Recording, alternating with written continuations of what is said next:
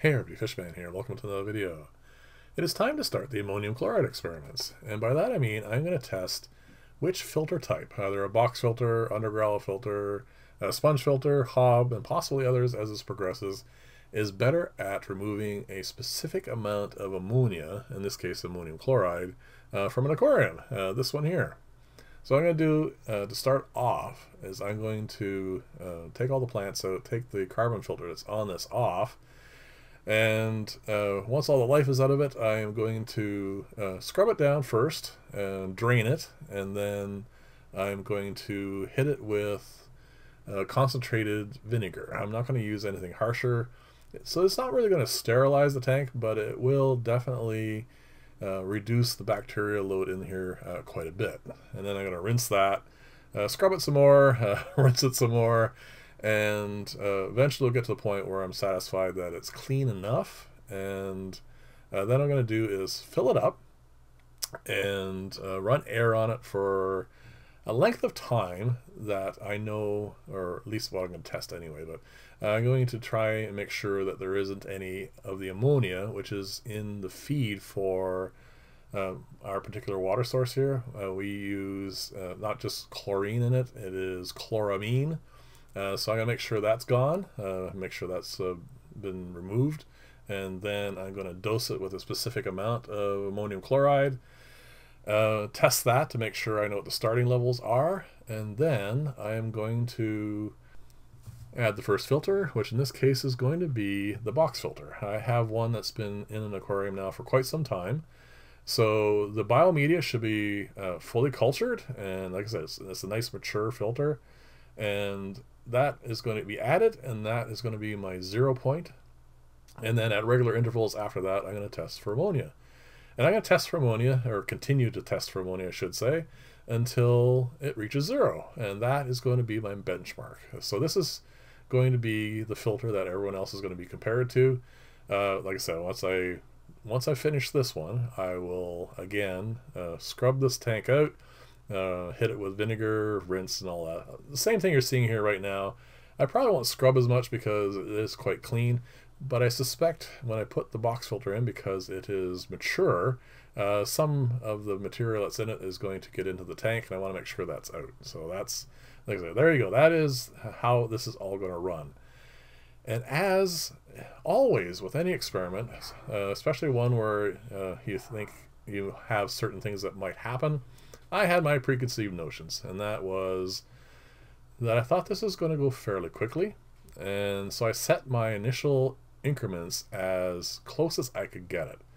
So I timed how long it takes to do a test, and it is just a little under three minutes because there's two minutes at which the thing needs to develop before I can uh, check its color. Uh, color, and so I timed it, and I could get it done in under three. So I was going to do uh, the zero mark, which is actually before I put the filter in. Uh, and once I start, once the filter went in, I was going to do it at three minute increments until the uh, the ammonia was gone.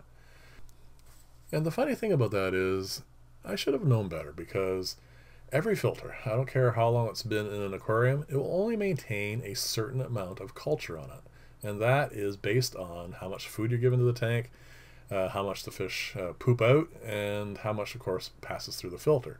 And if you take any one of these aquariums here and measure for ammonia, you're going to get a zero reading. That's not because there isn't any ammonia that is going through the system. It is very transient. In other words, it's not in there long enough for you to take a sample of water out and measure it and find it. So when I first started this experiment, I read the bottle and they recommended that you put a certain amount in. And that amount ended up being uh, what would give the max reading on an ammonia test. And I said, oh, that's actually kind of cool because uh, that way I can see as it gradually uh, decreased. And that, I thought that was a really kind of an interesting way of going about it. So that's what I did. Now there's a number of problems with that because the filter itself doesn't have the kind of culture on it that is going to be able to handle that much ammonia. So like I said, I started off at three minute increments and uh, gradually after about half hour, I was realizing that this is not working. not in the sense that it's not going to go down at all. I wasn't worried about that. But I was going through an awful lot of test, uh, uh, well, the bottle, the, a lot of drops. And I was going to end up running out before I got anywhere near the end of this thing. And there's a couple other things I want to point out as this progresses too, but that was the first thing that came up. So I started uh, switching that to every half hour, and then, uh, like I said, doing it that, that way. And in the end, by the end of this, uh, I got up to an hour, and uh, it's still, like I said, you'll see the tests. It's coming up shortly now. It was uh, not going at the speed I thought it would when I first thought about doing this experiment, but now that I'm thinking about it in hindsight, it makes perfect sense. Uh, this is an awful lot more ammonia than the filter is actually ever going to see.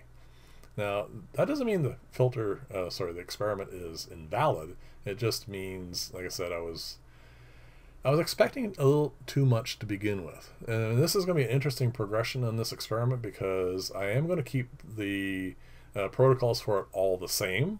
And then we're going to see how the other filters do, of course. And the funny thing is, it's not going to be what initially started out to be, but that's perfectly fine because uh, experiments in general will be the way they're going to be. So we're actually getting up to the point now where I'm going to start the experiment. And that'll be when I take the initial readings, but first I am going to uh, bubble a bunch of air in here. I started off with an air stone, and then I took that off because I wanted a lot more turbulence. I wanted to drive off uh, the chloramine as quickly as possible so I could actually get to the testing. And then uh, I took the reading, which is on the left. Uh, you can see it's nice and clear. There's nothing in there. And then I added the chloramine, let that uh, stir around for a few moments. And then that got the reading on the right. Now, this is actually one of the, this is the start of the next problem I had with this experiment. And that is these test containers, that test vial, is not designed for taking consecutive readings of high ammonia. And you'll see why in a little bit. But first I'm going to add the filter here.